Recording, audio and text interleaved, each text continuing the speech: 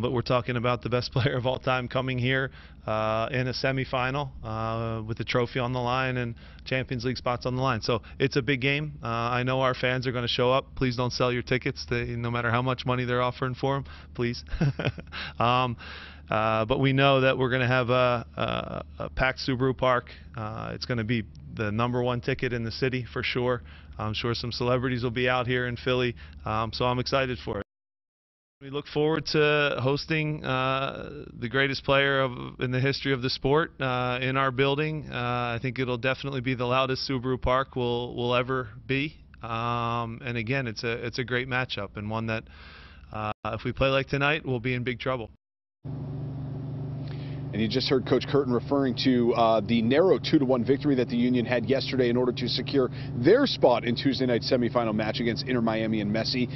Now let's talk tickets. I know you want them, I want them, everybody in town wants them, right? Well, get ready to get in line and to break the bank. For example, uh, the average ticket here for a Union game during the regular season is about $40. Compare that to tickets in Miami, where Messi has driven up prices about 500% on average. Guys, we're talking about spending hundreds, if not thousands of dollars to see Messi on Tuesday night here at Subaru Park.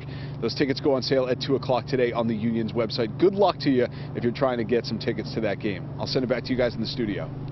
Well, I can't wait to see how high they go. Exactly. I mean, they got to pay that salary somehow, right, Ross? That's true. Maybe Ross can get a press pass. Yes, let's hope.